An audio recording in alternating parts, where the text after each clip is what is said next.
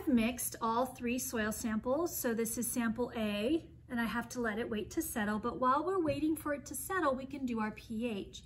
Here's sample C, and here's sample B. So we're waiting for all of that uh, to settle. But in the meantime, we can do our pH. So to do the pH, we're gonna use these test kits here.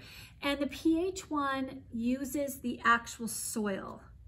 So we're gonna take a little bit of soil and we're gonna fill it to the fill line, which is a little dotted line right here. All right, and this one I'm going to use distilled water.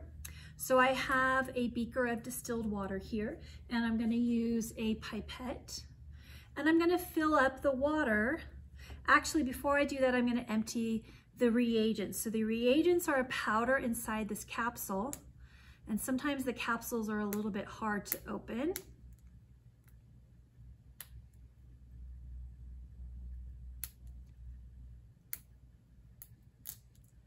All right, careful not to spill the powder.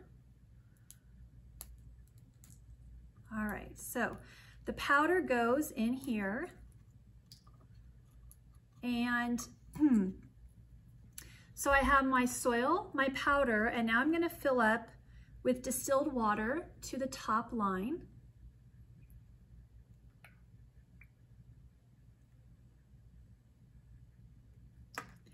And I'm gonna put this lid on and now I'm gonna shake it and wait for a color change.